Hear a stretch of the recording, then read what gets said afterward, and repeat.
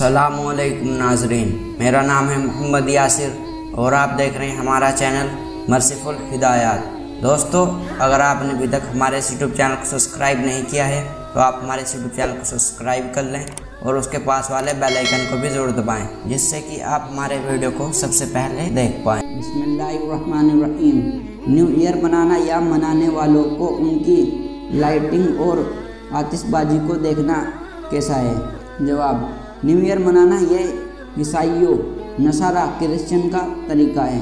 हुजूर सल्लल्लाहु अलैहि वसल्लम ने इरशाद फरमाया, जिसने जिस कौम की मुशावत कॉपी या नकल की, कल क़यामत में उसको उन्हीं के साथ उठाया जाएगा, यानी उसका शुमार भी उन्हीं में होगा। काजी सनाउल्ला पानीपति रहमतुल्लाह अलैह ने मसला लिखा है कि कोई शख्स दिवाली में बाहर निकले और दिवाली की रोशनी, आतिशबाजी वगैरह को देखकर कहे कि कितना अच्छा तरीका है तो उसके तमाम नेक अमाल बर्बाद हो जाएँगे।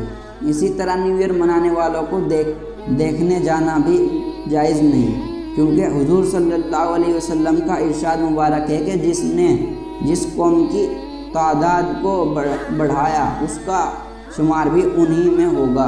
लिहाजा इस रात में बाहर रोशनी, आतिशबाजी देखने जाना, खाना पीना की पार्टी करना, नए साल की मुबारकबाद देना, नए साल की खुशी मनाना, एक दूसरे को गिफ्ट देना वगैरह जितने उनके तरीके हैं, सब नाजायज़ और ईमान को बर्बाद करने वाले हैं। इबरत के लिए एक किस्सा पेश करता हूँ। नसरानियों के तौर और तरीके पसंद करने वाले आलिम का इबरतनाक किस्सा।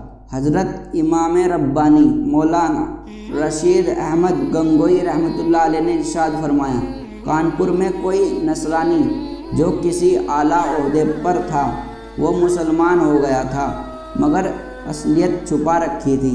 इत्तेफाक से उसका तबादला ट्रांसफ़र किसी दूसरी जगह हो गया। उसने उन मौलवी साहब को जिससे उसने इस्लाम की बातें सीखी थी अपने तबादले से मुतल क्या इत्तला दी? और तमन्ना की कि किसी दीनदार शख्स को मुझे दें, जिससे इल्म हासिल करता रहूँ। चुनाचे मौलवी साहब ने अपने एक शागिर्द को उसके साथ कर दिया। कुछ अरसे बाद ये नसरानी, जो मुसलमान हो चुका था, वह बीमार हुआ। तो मौलवी साहब के शागिर्द को कुछ रुपये दिए और कहा कि जब मैं मर जाऊँ और ईसाई जब मुझे अपने कब्रिस्तान में दफन करने आए तो रात को जाकर मुझे वहाँ से निकालना और मुसलमानों के कब्रिस्तान में दफन कर देना।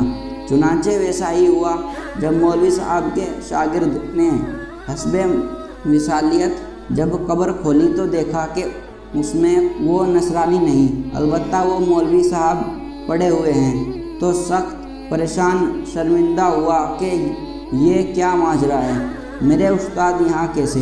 आखिर दरियाफ्त करने से मालूम हुआ कि मौलाना साहब नसरानी के तौर तरीक़ों को पसंद करते थे और उसे अच्छा जानते थे।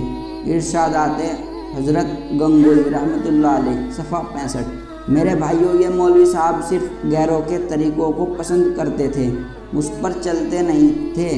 तो अल्लाह ने दुनिया ही में जिसका तरीक उनको पसंद था, उनके साथ शिर कर दिया।